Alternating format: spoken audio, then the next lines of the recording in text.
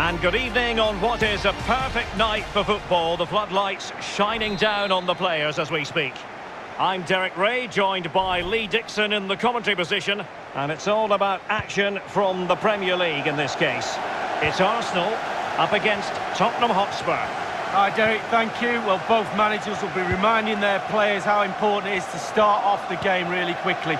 Really attack the opposition, put them on the back foot, see what comes of that. Hopefully we get a good game. And the forward run by Lacazette with the ball at his feet. He has options around him. Well, he's given a corner, the referee.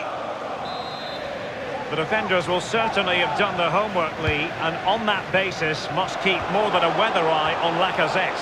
Well, when you're playing against a player, sometimes you're trying to look at what his qualities are. Is he a good hold-up player? Is he quick? Is he this? Is he that? But when somebody tells you he's a finisher, you know you're in big trouble. And so the starting 11 for Arsenal.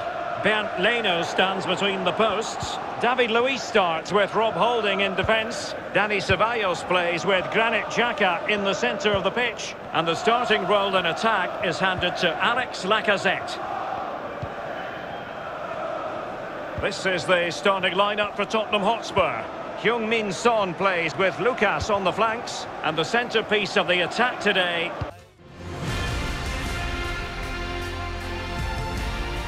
Well, nights like these are just what you hope for as a spectator. A warm welcome. I'm Derek Ray, and with me in the commentary position is the former Arsenal and England fullback Lee Dixon. And looking forward to bringing you action from the Premier League coming right up. It's Arsenal up against Tottenham Hotspur. Yeah, thank you, Derek. Always my favourite time of the week, spending time with you at games. We should be in for a belter here with these two.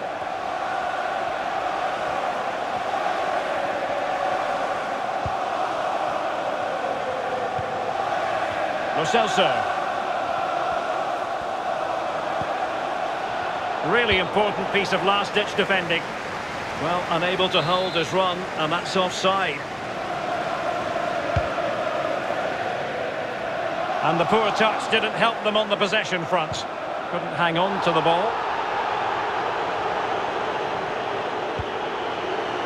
Lucas.